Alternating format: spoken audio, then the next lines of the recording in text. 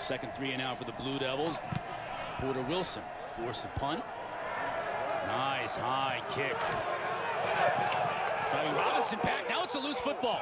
Inside the 10-yard line. Still loose, rolling toward the end zone.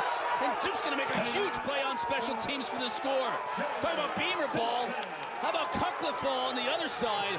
Blue Devils take the early lead. Oh my goodness. But you see the ball, really long kick. Tayvion Robinson backs up to catch it. You coach guys to always move forward to catch the football.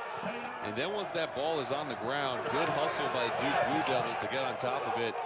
You know, we talk about injuries and the effect of injuries on a team.